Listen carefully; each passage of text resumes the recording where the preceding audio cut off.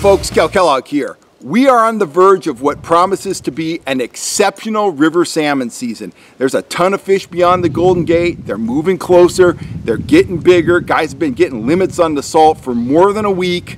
Um, a lot of those fish are pushing up to about 30 pounds. So there are going to be a lot of fish headed up the rivers this fall. They haven't started arriving yet, but I expect within the next two weeks we're going to see an uptick in the action, and uh, it's going to continue right on through the end of the season. It's going to come in spurts. We're going to get a big push probably in September, mid-September through mid-October, but we're still going to be seeing big, beautiful chromers show up in Sacramento and beyond all the way to the end of the season.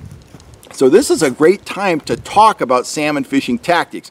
We're coming off, you know, last year was pretty good, but we're coming off of a, a slow period in salmon fishing for, for several years. So there were probably quite a few guys out there that don't know the basics of trolling for salmon. And that is the way to go if you're gonna fish the Delta, you're gonna fish the Sacramento River through, through Sacramento city limits, all the way up to Colusa, where that water is fairly placid. It's flowing, but it's fairly placid. It's deep. These are the areas where the average guy can go out without a jet boat, not worry about beaching the boat or hitting a snag or something like that, and troll effectively for salmon. So let's go over the basics. Let's talk about the rod, the reel, the line, the end tackle. I'll just give you a thumbnail sketch of how you can go out and effectively troll for salmon throughout the Delta, the Sacramento area and all the way up probably to Colusa. So start with the rod. I've got an eight foot graphite rod. We'll talk more about the rod in a second. It's kind of a medium power rod. You don't want a super stiff rod. You don't want an ultralight rod. This is basically a striper trolling rod, a striper bait fishing rod. I'll show you the tip in a second. It's got some sensitivity, but it also has a lot of back a lot of backbone and it has, you know, a fairly long handle so you can, you know, kind of dig in, fight a fish, put it in a rod holder safely, stuff like that. I've got it topped with a 15 size Penn Fathom reel. It's just a simple star drag reel. These are some of my staple reels for just kind of all around fishing, halibut, stripers, sturgeon, all that stuff. A line counter reel is preferable if you're going to get a dedicated salmon fishing outfit but uh, if you're going to mix it up, go for different things. A non-line counter like this works just fine. You want to spool up with 50 to 65 pound test braided line. That line is very thin, it's very low in stretch, gives you a lot of power, a lot of line capacity. It's about the same diameter as 15 pound test mono. So I got a bunch of line on this reel. I'm ready to fight anything. I'm ready to fight a 40 pound salmon or a keeper sturgeon or whatever. So this is just a good all around outfit for anybody who's gonna fish our big rivers, fish the delta, stuff like that. Let's take a look at the end tackle and then we'll talk about lures. Um, but first I said we were gonna talk about the tip on this rod. And let me, let me kind of step back here and show you the tip of the rod which you'll see here. I don't know if you can see that. Let me take a quick look here. Yeah, you can see that. So you'll notice, got it wrapped here. You'll notice, you know, this rod, it has some sensitivity in the tip. And that's important because when your lure is working in the water, you want to see it on the rod tip. You want to see that vibration. So that's very important. That's how you know if you've got a weed. That's how you know if your lure is working. If you're moving fast enough forward as you troll, you want to see those vibrations on the rod tip. So it's important to have a sensitive tip and you, you know, you want a little softness in it because you want, when a salmon hits, you want them to be able to maul the bait just for a second. And that tip provides that cushion. But as you can see, it's a very fast action rod and it's backed up with backbone. So that's kind of what you're looking for. You don't want a pool cue. You want to be able to see that lure working and you want the salmon to be able to draw that tip down a little bit before he comes, you know, fast to the rod. That allows him to get that lure back in his mouth, regardless whether you're using a Brad's, a spinner, a flatfish, whatever it is. You want him to get that in his mouth before he really starts to get resistance. So anyway, sensitive tip, plenty of backbone. And an eight foot rod is nice. An eight foot rod, if you're fishing out of a boat, even if you're fishing out of a kayak, it gives you a lot of leverage on the fish. It gives you a lot of lift when you get ready to set the hook if you're gonna set a hook. Um, it's, it's just, it's just the, it's the right size. Seven footers will work, eight footers are better. So this is a eight foot, as I said, eight foot graphite stick. So I've got it coming down to, pull off a little line here. I've got it coming down to a basic three-way rig, which is what you're going to want to use for trolling the delta, for trolling the river through Sacramento. I've got the, uh, the braided line right here, comes down to a three-way swivel. I've got that knotted onto that eye of the swivel.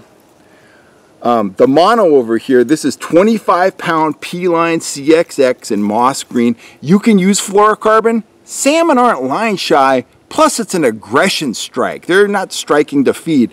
They're striking because the lure is annoying them. So, you know, line visibility, not a huge issue. So I'm using the moss green CXX very abrasion resistant, very strong lines, good stuff. Uh, my second choice would be Trilene Big Game line. It's very similar to the P-Line CXX, very abrasion resistant, very tough stuff. You're going to be fishing this down on the bottom of the river where there's rocks and you know logs and stuff like that potentially. So you need some abrasion resistance and you know you need a you need a lot of power. So enough said there. I've got the braid coming down to a three-way. I've got a dropper. That's probably I don't know, close to a foot long. And the dropper is tipped with just a snap. Not a snap swivel, a snap. We want to keep it simple. So right there. And then off the third eye, we've got about 48 inches of leader. And that comes down to just a lock snap right there. Not a snap swivel again, a lock snap.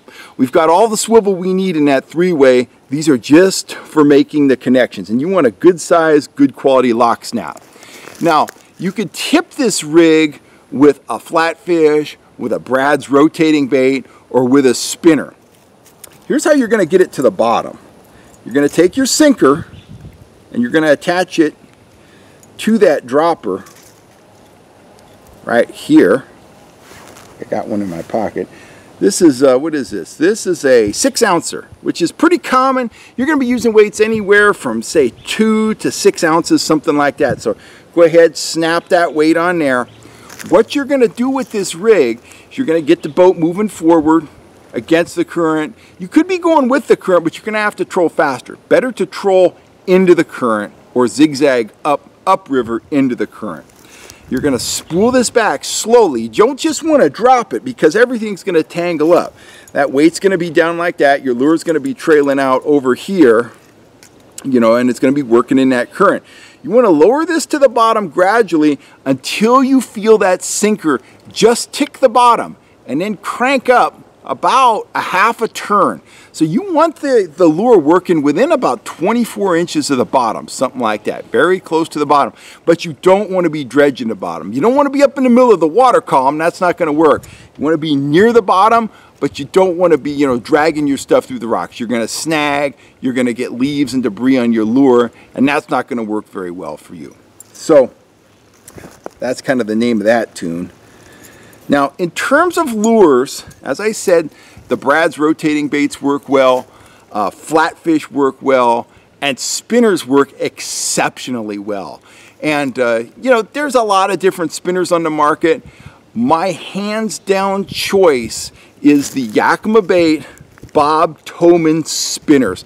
The quality on these things is through the roof. Uh, Bob Toman is a, is a Northwest guide was on the water for decades and he kept tweaking spinner blades. And his theory was a spinner blade, you know, they'll all catch fish, but if you can hit that certain tone that just irritates those salmon, it's to work better. And uh, he worked on this particular blade for a long time and he came up with the thump that he felt, and you know, years of experience on the water, that he felt worked the best. Well, Yakima Bait's taken that blade, taken his design, and they've taken it to the next level. They use a special brass alloy. It's very tarnish resistant. It doesn't, you know, it isn't as effective by electrolysis. Um, they put UV powder coated paint on it. It's a very durable finish. They come in great salmon catching colors. They have that rigid piece of tubing there that always keeps the hook in position. Now, I've heard some guys talk about tipping their spinners and stuff like that. It's not necessary. Go ahead, put some Pro-Cure on the back side of that blade, some Pro-Cure on the beads, and you are ready to fish. You don't need a flasher. You don't need a dodger. You don't need any of that stuff You just need to slow troll up the river. You need to know that that blade is going whoomp, whoomp, whoomp, whoomp, whoomp in the current and you are fishing. Check your depth occasionally, watch your fish finder. If you see that it goes from 25 feet to 30 feet, you got to put out more line. If you see that, you know, you're in 25 feet and all of a sudden it's coming up to 18, you got to work your gear. You got to shorten up. So, Toman spinners, they're exceptional. I'll show you one in the package. They look like that. I guess I had that upside down. They look like that. You can find them at sporting goods stores all over, anywhere that carries Yakima bait products. Um, these are deadly. I've caught fish on these things from California to Alaska. I've fished every major river system, including the Columbian, and these things are widely used simply because they work. And if you forget, forget how I told you to rig them, there's a little diagram on the back. But anyway, you could substitute the spinner for a flatfish, for a Brad's rotating bait, but uh, man, I, have just seen so many nice fish caught on spinners, just a naked spinner like that, that uh, I have a lot of confidence in that presentation. Couple final words. So we're gonna be trolling along.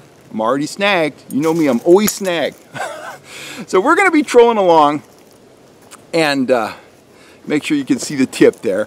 We're gonna be trolling along. You're gonna see that spinner working against the rod tip, something like that. So you know the spinner's working, that's great, it's doing its thing, you've been controlling the depth, you know you're near the bottom, and all of a sudden you're gonna see some action like this. You're just gonna see it draw down, okay? Resist the urge to grab the rod out of the rod holder. Just keep trolling forward or give the throttle a little, just a little shot of power. Use the boat to hook the fish. But make sure that you can really see the salmon, the weight of the fish, you know, really laying on the tip of that rod. Then goose the throttle a little bit and that's just gonna pull, it's gonna pull those barbs right into the fish's mouth. Those are needle sharp hooks on that spinner and uh, you're gonna have a big smile on your face because you're gonna have a big old king on the end of your line. So anyway, if you're planning on trolling for salmon in the Delta, Sacramento city limits, all the way upriver to Colusa, those are the basics. It's up to you to get out there, put in your time, work the areas where the fish are moving through, go get them guys. You're never going to have a better opportunity to whack salmon in Sacramento city limits than you are this season. There's a bunch of fish, they're big, they're beautiful, they're chrome. Go get them. I'm Cal Kellogg. I'm signing off. I'll catch you next time. I hope this tip helps you put a big old salmon in your boat. And uh, I'll see you here soon. Anyway, I got some chores to do, guys. I'm signing off. You have a great day.